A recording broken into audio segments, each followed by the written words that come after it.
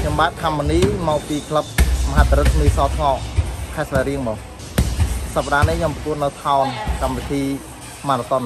ក្លឹបចូលលេងមកម្ដងហើយជួបអឺអេសារីបានលេខ2ចាញ់គាត់ការត្រៀមខ្លួនគ្រប់គ្រាន់មកបានសប្តាហ៍ដែរ2សប្តាហ៍បង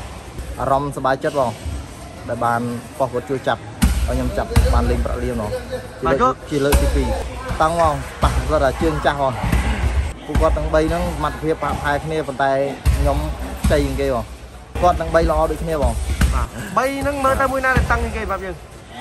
ខ្ញុំគិតថាតាំងជាងគេគឺបងសែនសល់បងព្រោះគាត់រៀងចាស់ជាងគេគាត់បាយធ្ងន់បងបាទអាវុធគាត់មិនដែរតែសោះ